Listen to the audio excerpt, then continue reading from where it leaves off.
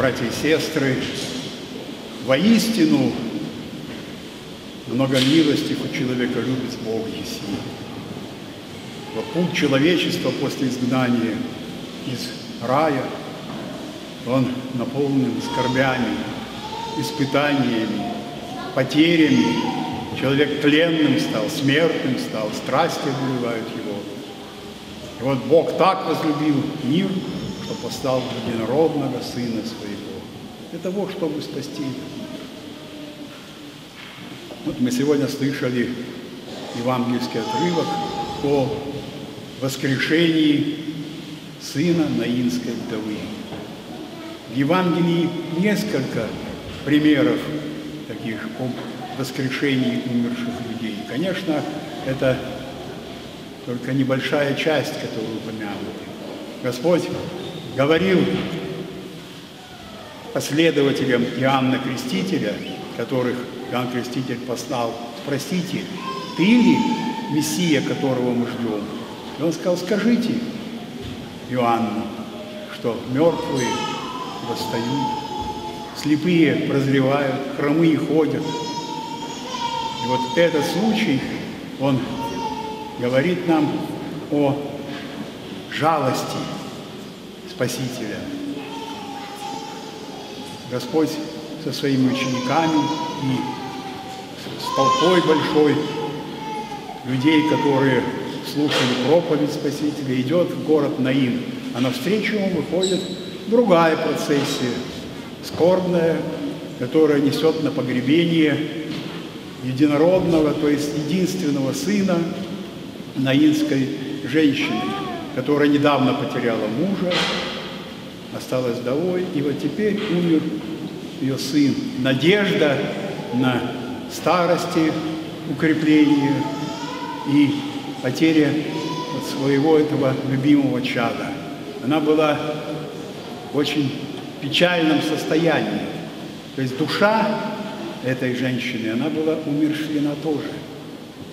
И вот Господь жалился над ней и, подойдя к этому одру мертвого, прикоснулся к нему и сказал, юноша, тебе говорю, встань.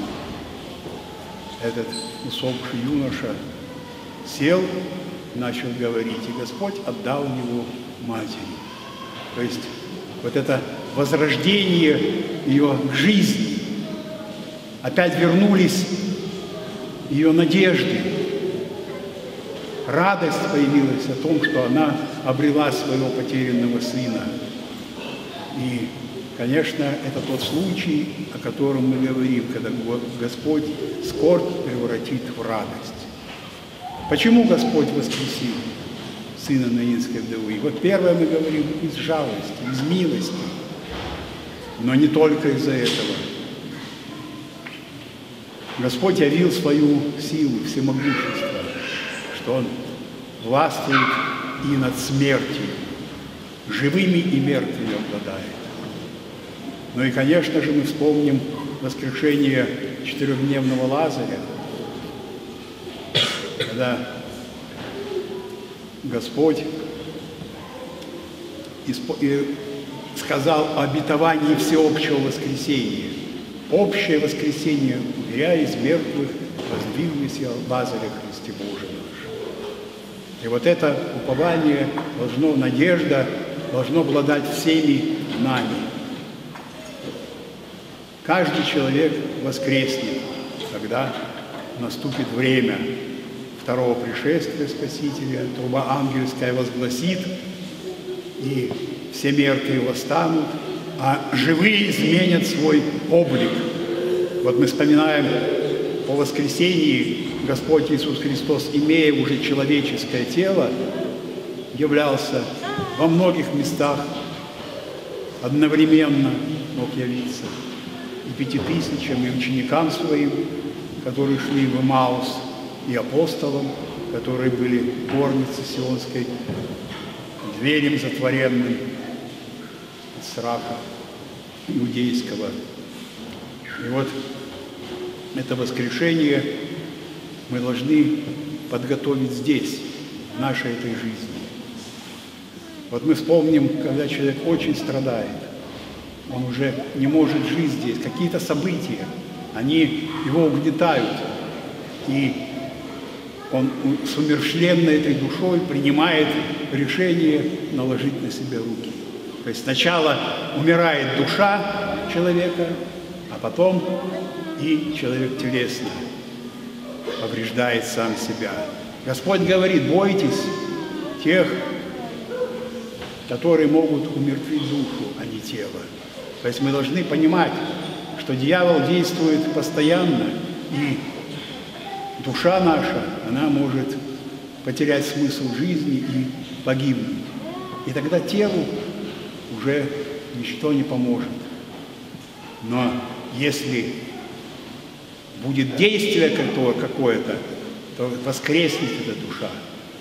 Вот мы должны помнить, что, находясь в этом мире, мы видим вокруг себя обездоленных, страдающих, особенно в наше время, когда очень много так сказать, потерянных жизней, потерянных людей, у которых строй жизни нарушен, уже у них руки опускаются.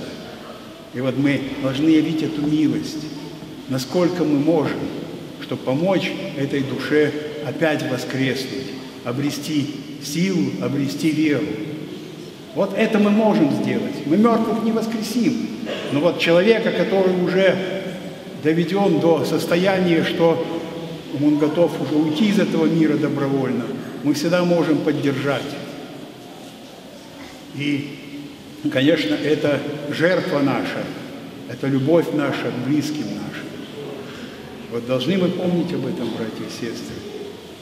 И, конечно, этот труд, это жертва ради близких наших, она и укрепит нас самих. Мы можем только помочь, когда сами имеем эту крепость, когда мы видим свет божественный, когда мы видим единение с Богом. Наше самоприсутствие в этой области божественной. Вот туда мы должны идти. Как преподобный Серафим говорил, стяжи Духа Святаго, и тысячи вокруг тебя спасутся.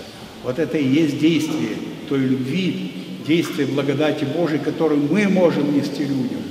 И не надо нам сейчас, так сказать, вопиять о безнадежности, о безысходности, о трагедиях, которые неминуемо ждут нас. Они могут нас ждать, да, но мы будем всегда помнить и должны помнить о послании апостола Павла, которые заканчиваются всегда призывом «радуйтесь».